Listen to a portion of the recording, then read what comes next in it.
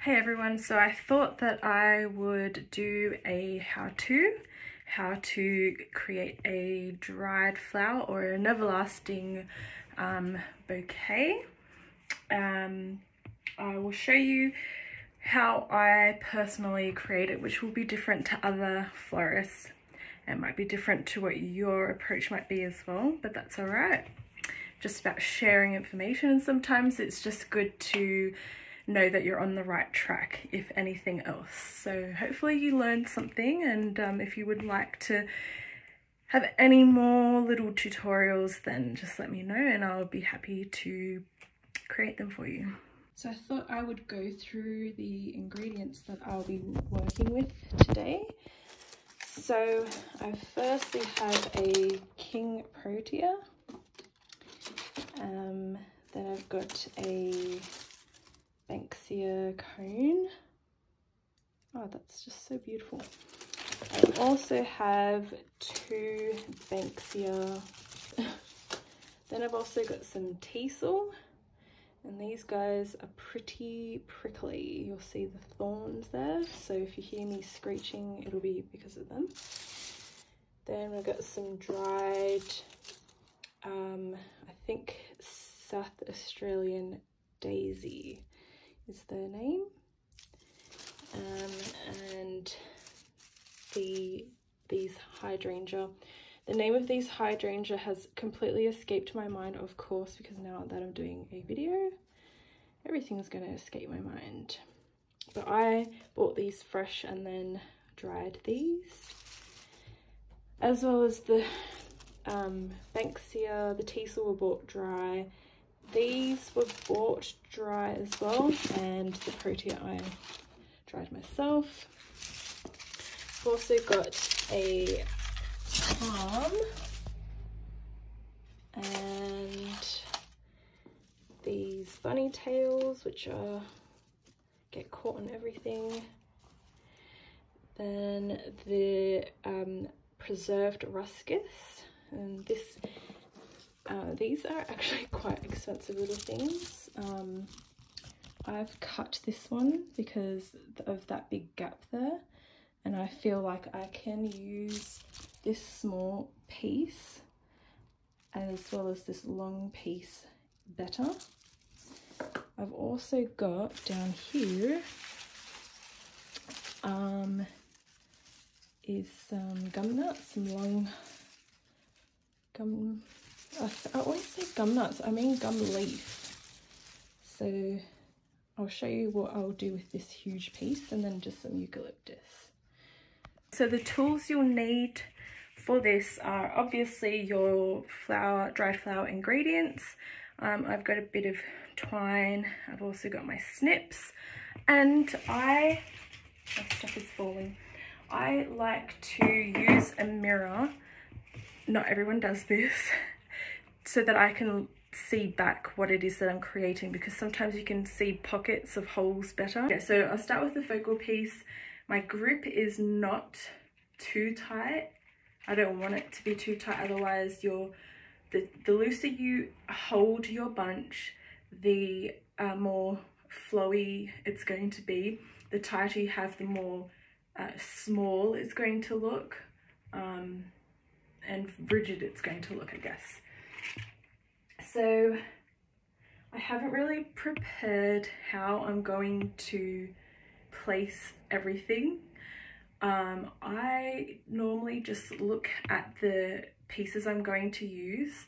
This is a beautiful shape. So I'm going to use this opening as opposed to facing it that way just because I I love this little peeking bit there.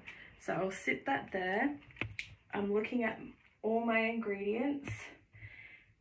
I do typically, now that I think about it, add some greenery after I pick my, I guess, focal flower. So I've done a little V shape. It, things may change. So it's good to have an open mind as you're doing this. I'm also doing what's called spiraling. So I'll just put these pieces down.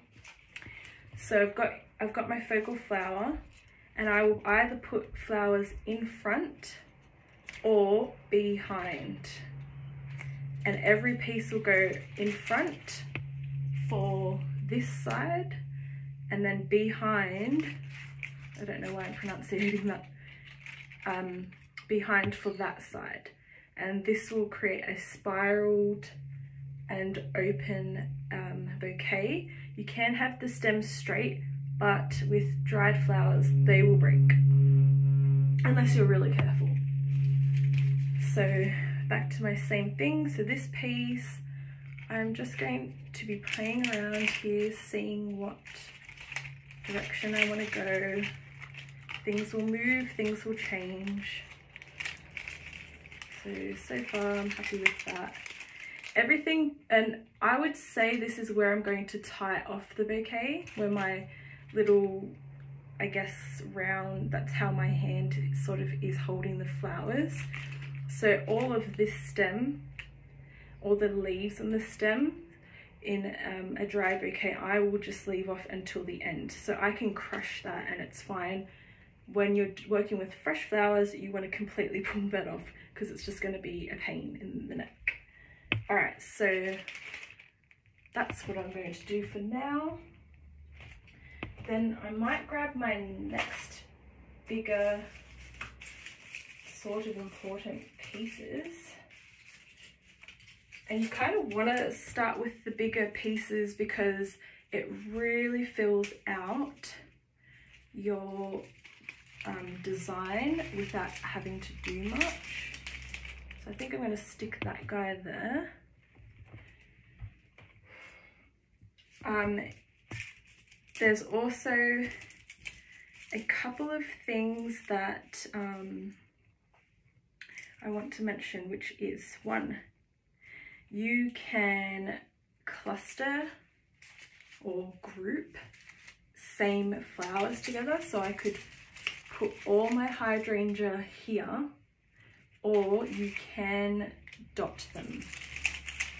You know, like this might, this could sit here.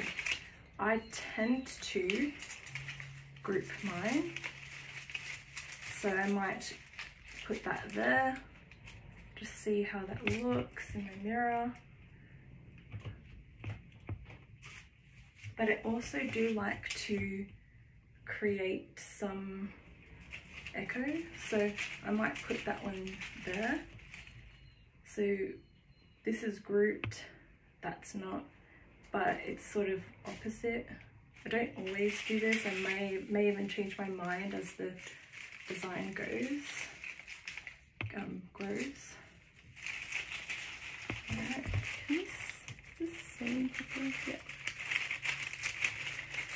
Alright, now teasel, I do not want it to hurt me.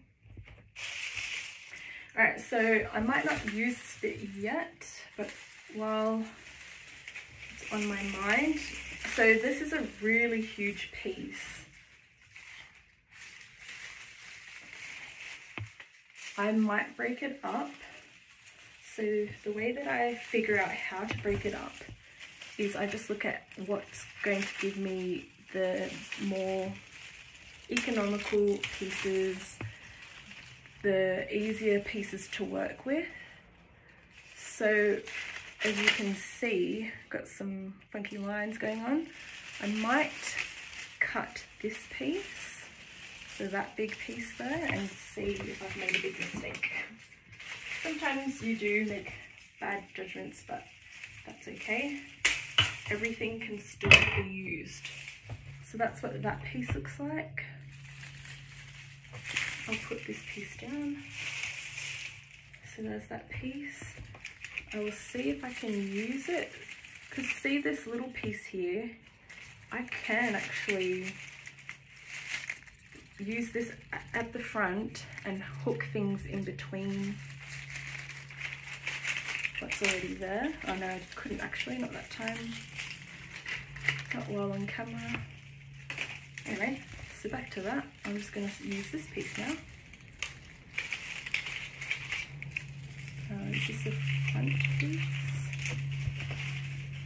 It's actually quite hard doing this on video. so I tend, I tend to look at the camera more than my mirror, which I need. So I just find a place that it will look good. And I'm breaking things as I go. Oh yeah, I kind of like that. So this piece I'm going to stick at the front, but I will go behind so that my stems are still spiral. And that's where I'm going to stick this guy for you. can hear things dripping and whatnot. That's alright. How these work. I've got to look at my mirror.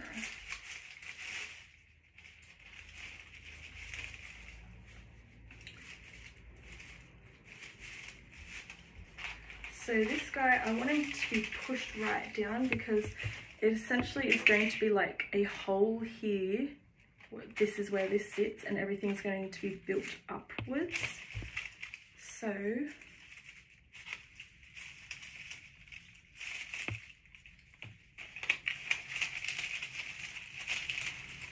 I'm just going to stick with that idea still. I thought I was going to change it, but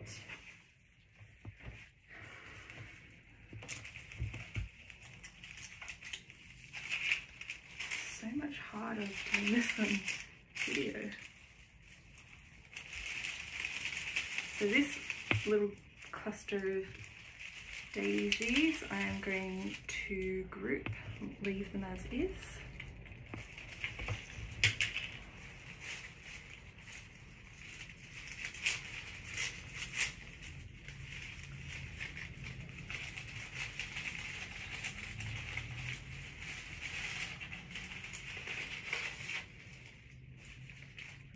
Still not confident in my placement of this hydrangea, but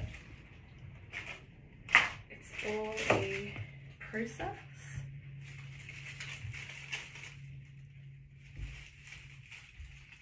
Oh yeah, okay. Gonna get rid of the daisy now. And stick the protea here because I love, I love that shape. Alright, what else have I got?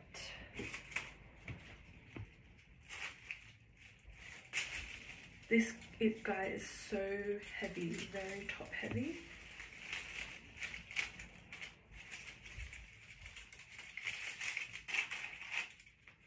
And don't be afraid to pull off leaves that don't serve you because they don't all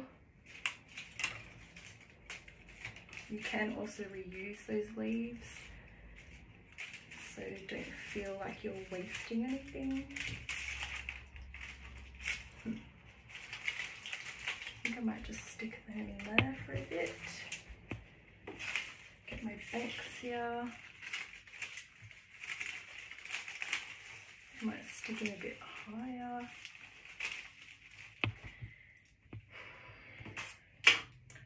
So many materials to use. These guys look so good in abundance. Look how cute those are. Sometimes can't see how good it is. Alright, I'm going to squish this guy down.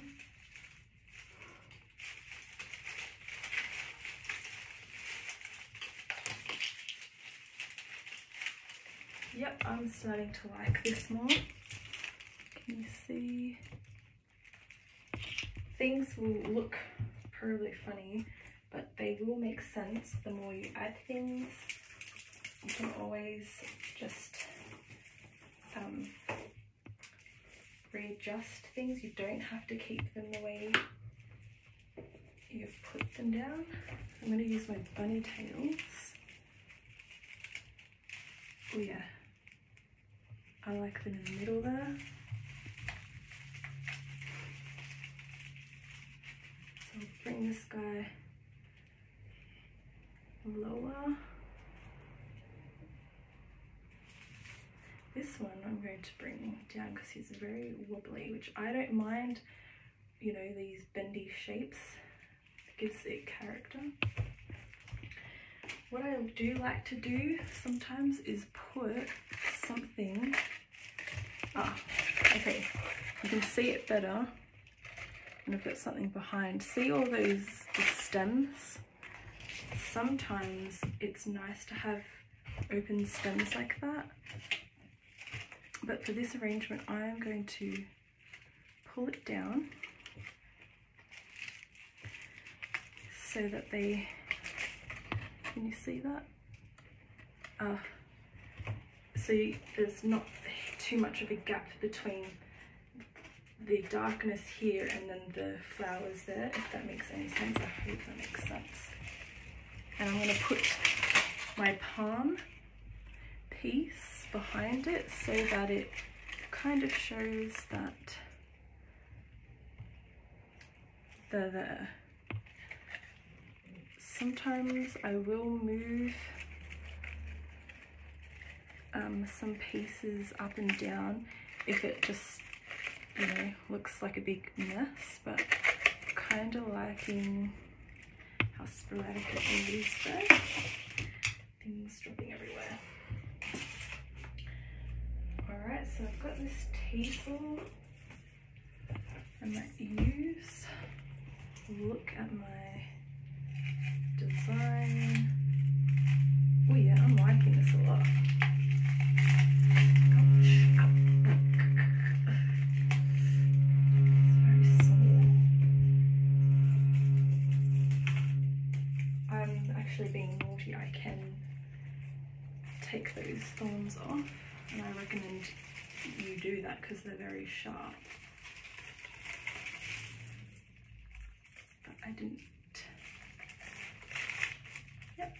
I've kind of staggered it so that it's not all the same length.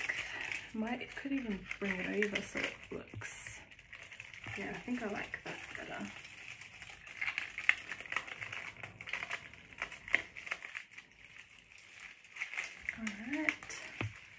everything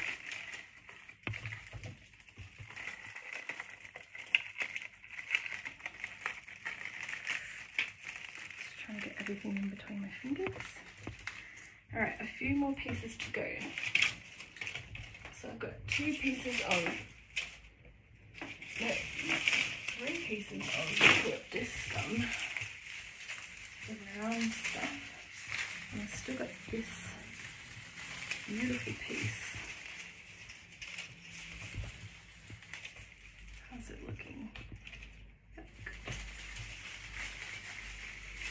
so yes all right i'm going to put that big piece there. Have the leaves facing up.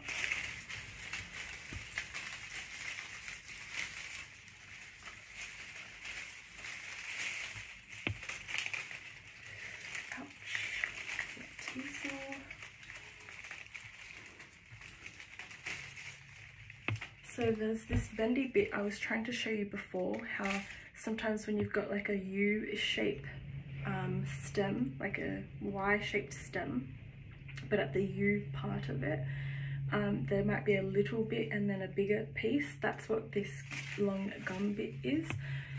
That's this short bit and I can sometimes, if it doesn't break, bring that to the front as well as have a piece at the back that is what I'm going to try and do right now. Actually, I'm also going to cut a stem because it is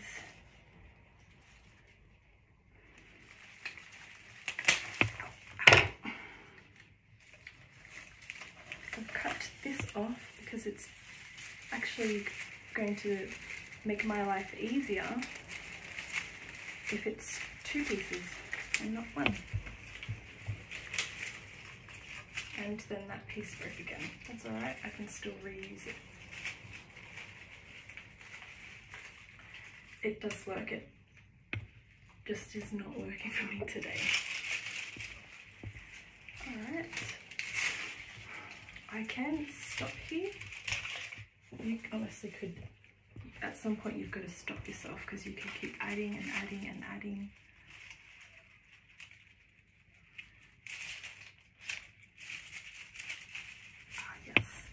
So my preserved ruscus, I'm going to tuck that bit there.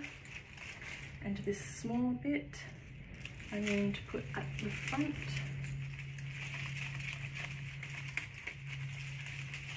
Oops it's dropped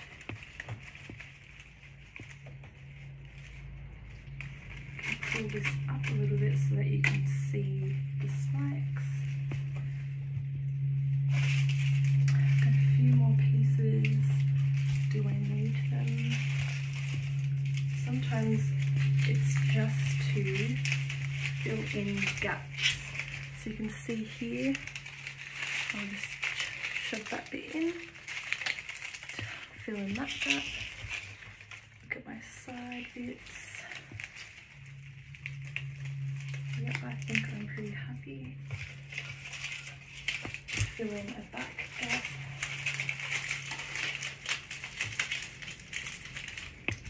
and then another back gap.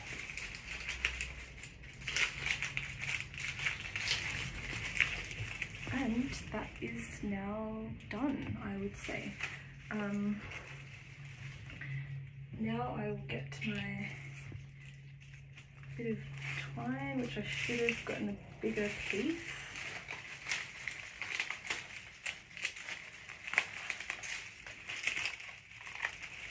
and I've wrapped it around once and now I'm securing it at the front.